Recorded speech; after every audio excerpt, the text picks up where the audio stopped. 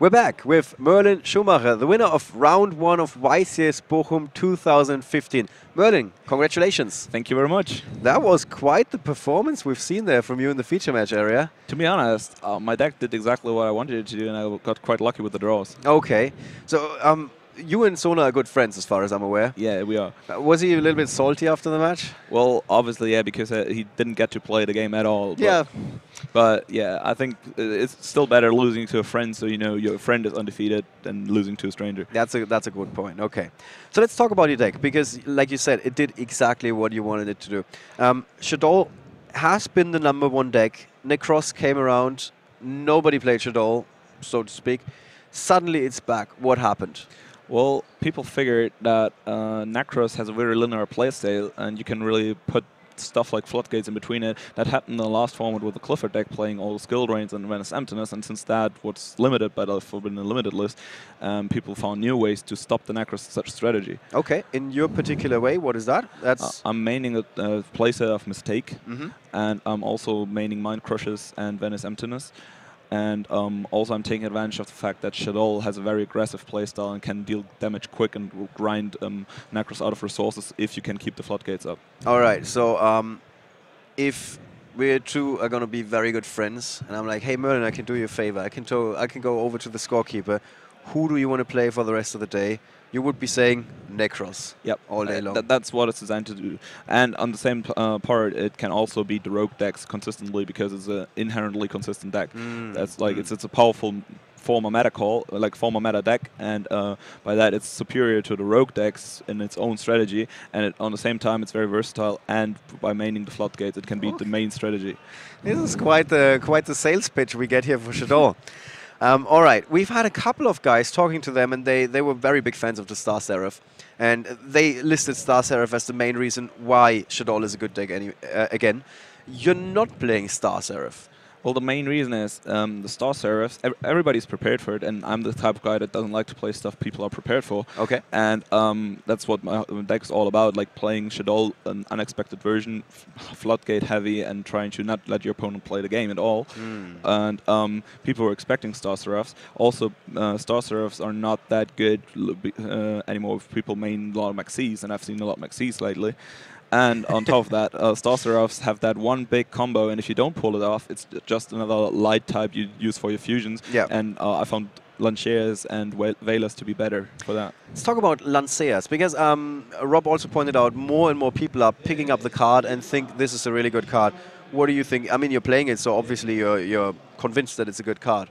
To be honest, I was doubtful at first, but Long, a friend of mine uh, I tested with a lot, he convinced me to play it because uh, it can stop like the key burst out play of the Necro stack. It can like uh, in- disable them from banishing those uh, ritual spells and get another one. Yeah. Also, it can prevent the Trishula effect from hitting, and that's essential. Like if you if you get a crucial Trishula, you probably gonna lose and you can prevent that effectively also it's a light and you can use it to fusion uh, to synchro summon okay. because it's level 5 as well So um, you you got a couple of these hand traps in your deck, and we've seen you holding on to even several copies of Effect Veiler. You didn't drop them when Sona was, ex for example, going for a Senju. Uh, That means that you have to save them for the right moment. Well, at that point, uh, it was essentially a coin flip. I was gonna, I was debating to play it, but then I figured Senju was doing nothing than get another Valkyrus and buy more time. Yeah. And I was like, okay, I can let him have that. In- In return, I'll get another free draw for my for my play, and he doesn't advance his game state. He Oh. just thins out its, its his stack by two cards. Okay. So um, let's talk about it in a second. But that means something to take away for a new player who is not as as, as accomplished as you are because you've won a YCS before and done well at a couple of events. Um, one of the, the things to take away from this interview is you need to know when to drop your effect veilers. Yeah, timing is very essential. If you're playing traps, it was essential the whole time when uh, ever since the game started. Back in the days when you only had like one mirror force and one power trap, one ring of destruction, it was essential to use that at the right time. And now it's the more uh, hand trap based, and you have to wait for the right time, figure, and know How do I know them. what is the right time? Practice. Practice. Straight up practice. You, Okay. you gotta you gotta have been going through the same situations over and over and over again to get the uh, the idea to estimate what your opponent might have, what they still might have, what the outs are, to have a rough idea what they could have, and then Mm, okay. Okay. And you can definitely read an opponent. yeah. So, I so guess. you're like, okay, let's talk about this game in particular. The first game you're basically winning with mistake, flipping mistake. Sona doesn't have an out. You gaining more and more of an advantage. Yeah. What happens when you're side decking? What did you side in? What did you side out? I Um, mean, definitely the Vanity's Fiends came in. Yeah, in, th- in this particular uh, match, I sided in two Vanity's Fiends, uh, one Thunder King Rai-Oh, and uh, two Anti Spell Fragrance. I was debating siding in three, but um, since uh, I was not very sure that he was gonna let me start because he might have. I, I was expecting the decree because we obviously dis- discussed our decks and we tested together as Yeah, well, so yeah, I knew, okay. had a rough idea of what he was siding. I was debating whether he would not let me start, and if, I, if he would not let me start, Anti Spell Fragrance would not be good. As, as well, Long played a similar version a week ago, and uh, he lost to Alpai in, uh, in top cut because Alpai knew he was citing anti-spell fragrance, Mm. and he wouldn't let him start. And just straight up started by setting all his ritual spells, and anti-spell fragrance was essentially dead. And that's why I didn't cite a whole playset. Such a fox, that Alpine guy. All right. So, um, did you side out the mistakes? No, I kept them because kept they're them. so good. I expected to decrease. I was like, if he has the decree, it's not that bad because I sided out breakthrough skills and um, I sided out bottomless trap hole as well. So I reduced the traps and put in new traps as well. So I didn't in- really increase my trap Okay. rate. And I was like, I'll take the chance. Okay. So, um, then you have you are able to resolve the Vanity's Fiend. You are able to uh, summon it to the field. What is going through your head? How many outs does Sona have, in your opinion? in my opinion, he has but two. Has, he uh, I expected him to side out the Book of Eclipses, which he did, and I expect him to side out the DD Warrior Lady because that was the whole idea. I was debating it with Long. He was like, "Don't side Vanity's Fiend because everybody's playing more monster outs to the Djinn Lock, and uh, therefore Vanity's Fiend is not that good." In the main deck, Yeah, but in the side deck, right? but, but then as I said against Shaddolls, they don't expect that to happen because Shaddoll doesn't have a Djinn Lock in the main deck, and Mm. uh, they don't expect ex- expect the Vanity's Fiend to come in. So they will side out the uh, Warrior Lady because it's just a one for one trade off. yeah. You have to waste your normal summon for, so they'll side that out, and I expected that. That's why I side in the Vanity's Fiends, and yeah, it worked out quite nicely.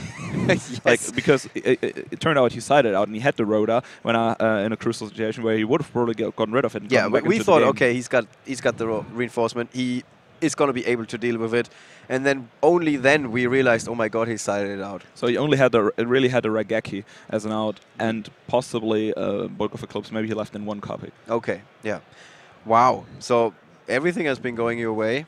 I can't complain if, if, if I keep playing Necro stacks and keep ha- getting the right draws like I did. I started awesome as well with the sh- Shadow Games and the Shadow Hatchuk Yeah. and the anti-spell fragrance to buy me a turn. That's all it did. It, did. it, it made him uh, not do anything on his first turn, side everything. Then he had to decree the whole game, and his anti-spell fragrance didn't do anything else. But it wasted his first turn. That's Yep. what it was good. So I had the upper hand starting with the vanity Fiend before he could like s- start uh, ritual summoning. All right. Um, what was your goal for the weekend? My Like, goal for the weekend. You uh, came here definitely very prepared, as we can tell. Well, my goal is always to reach top cut and possibly win because I, I think there's no point in playing an event if you don't want to win. Because you, uh, obviously you want to have fun, Yeah. but also if you play on a, like for such a long time and you prepare and invest so much time, you want to win. You wanted to, yeah, to be a rewarding experience. Yeah.